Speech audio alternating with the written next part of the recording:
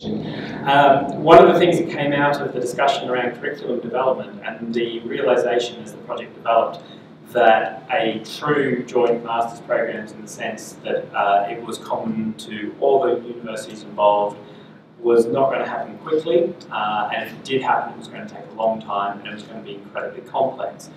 And really, out of that fell the realization that, uh, shall we say, education is moving on quite rapidly, that education uh, and the way that students perhaps prefer to receive education has shifted, and at the same time, the availability of, uh, of MOOC platforms, of massive online open courses, or massively open online courses, however you want to describe them, uh, was a real possibility in terms of sharing uh, some common thinking between partners and obviously among students uh, in the end worldwide. So we actually worked with an online delivery partner called Iversity, um, who currently are in abeyance uh, for various financial reasons, let's not go there. Uh, but effectively, the program that was delivered covered, uh, as Bartek just mentioned, a specific element of the curriculum that's been identified, which so, search and social media marketing is the name of the module. Uh, but effectively, the MOOC developed around that subject area. And it was delivered in a MOOC style, which means it's video-based. It's based on short videos, very quickly and easily digested, uh, very short, sharp presentations. It's based around a very small set of um, learning outcomes for each of the videos, each of the sections. And to a certain extent, it made us realise as academics that there's a lot of opportunity out there that we're not realising in our own teaching, which I think was probably a bit of a reflection on our own part.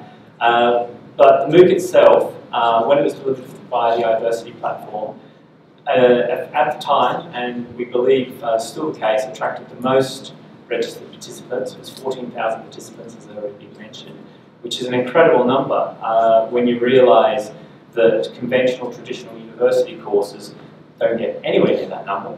And in fact, whole universities, in some cases, particularly in the UK, don't necessarily even have 14,000 students.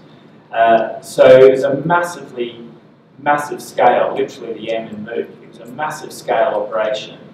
And it was a learning uh, curve in the sense that we realised certain things needed to be done in different ways for the MOOC environment, uh, which we did adapt and adjust to. Um, and at the same time realised that there was a need for more delivery in this, in this way. Uh, so at the same time as delivering the MOOC, which is effectively an introductory um, level to the topic, uh, we also recognise the need for a professional level, which is something that, uh, in a sense, is an ongoing project. Uh, and at the same time, we also came up with the need for a different delivery partner. So at the moment, uh, material that was developed for the MOOC has actually been put on to YouTube, is available on YouTube, and is, a, is um, shall we say, a fraction perhaps of what a true MOOC environment offers. Uh, you don't get the same level of community, obviously, through YouTube. And that's one of the reasons why the actual um, as, as Anne has pointed out, one of the reasons why the actual community is a useful resource as well, because the material, in a sense, of the core content's there, but that's only part of the learning experience. Um, and for someone new to this topic, or if you know people who are new to this topic, it is a good sound introduction for the topic.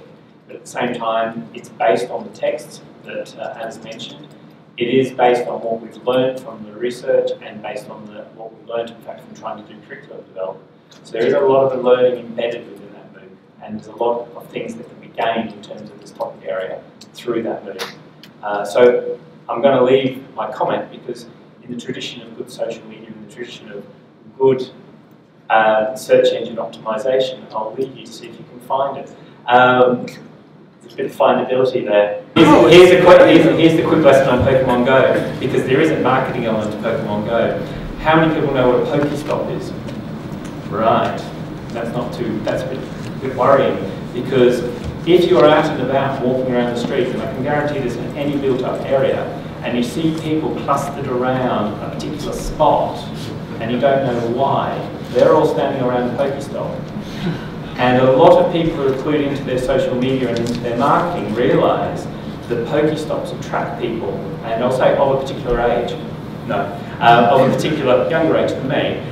Uh, so if you are looking at marketing um, brands that particularly particularly appeal to a certain youth audience, particularly a mobile audience, and you don't know what a Pokestop is, then there's a bit of a gap in your knowledge because the cleverer locations are actually identifying that they are a Pokestop, and if they're not a Pokestop, they're applying to the game, to Niantic and to Google, to effectively become a Pokestop, because Pokestops attract youth to that location. And if you're a brand that has a physical presence and want youth at your location, and you're not a Pokestop, you're missing out.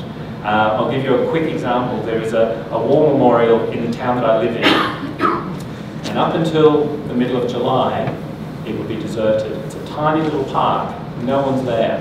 You go down there now, and at almost any time of day or night, there is actually people there.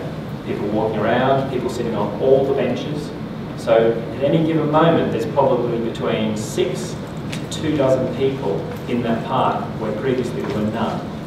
Now, there's all sorts of examples of how people have taken advantage of that, but that's an opportunity that if you don't know what Pokemon Go is and how Pokemon Go works, then potentially as a brand you're missing out. And that, that's how fast moving this whole topic area is, because there isn't a mention of Pokemon Go in the book. It might be in future editions, in fact it might be a whole chapter if I get my way. But the whole thing about it is that this moves so rapidly that you need to keep abreast of the information and you need to be sharing and talking about these things quite rapidly. Go on, Uh, just, just to mention, uh, the last part of my presentation was the community, and if you go to uh, our Facebook page, there is a